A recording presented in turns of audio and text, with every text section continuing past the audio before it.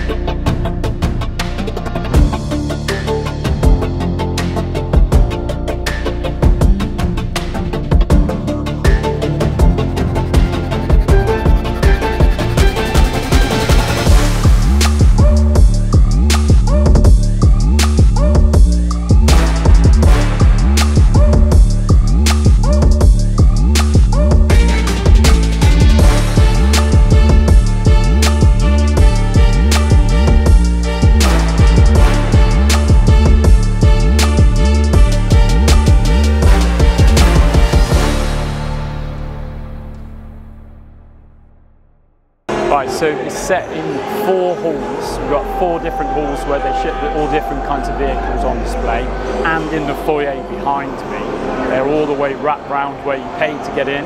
Plus, the car park's absolutely full outside.